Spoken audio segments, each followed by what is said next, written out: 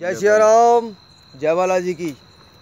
आज हमारे जटवाड़ा कलेक्टर के पास हाई कोर्ट के कोर्ट के पीछे एक स्पेक्टिकल कोबरा निकला बड़ा अच्छा श, नाग है बहुत ही नाग। है। अच्छा नाग है। और वहाँ पे गलती से वो आ गया और वहाँ के लोगों ने मुझे इन्फॉर्म किया। इन्फॉर्म करते ही मैं तुरंत वहाँ पर रिलीज़ के लिए गया और बहुत ही अच्छा नाग है शानदार नाग है। हमारा तो कहना यही है कि इन नागों को इस तरह से बचाया जाए।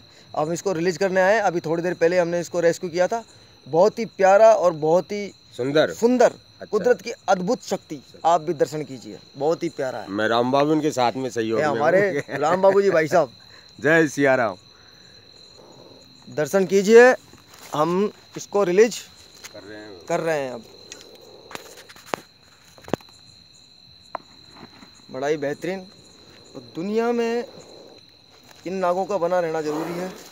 सांप हमारे पर्यावरण मित्र हैं और कभी भी मनुष्य को हानि नहीं पहुंचाते मतलब कुछ ना समझ लोग वाग इनकी, इनको परेशान करते हैं या मार देते हैं।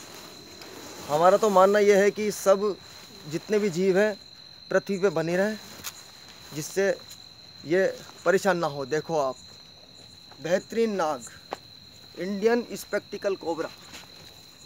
ये रोड की तरफ़ जा रहा है पर इसको वापस लौटाना पड़ेगा। ये देखो आप बड़ा ही विशाल और शानदार नाग है।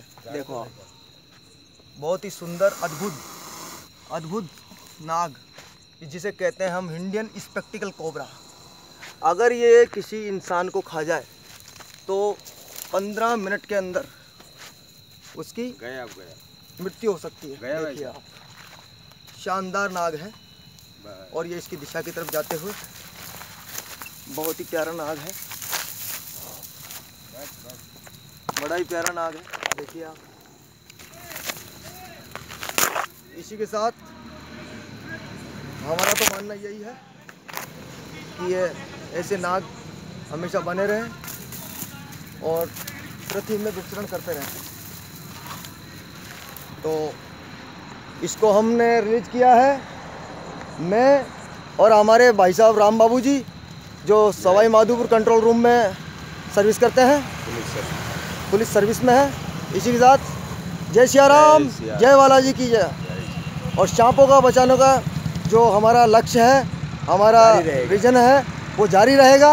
आगे भी हम सांपों को बचाना बचाए रखेंगे। इसी के साथ जय सिया राम जय बालाजी की।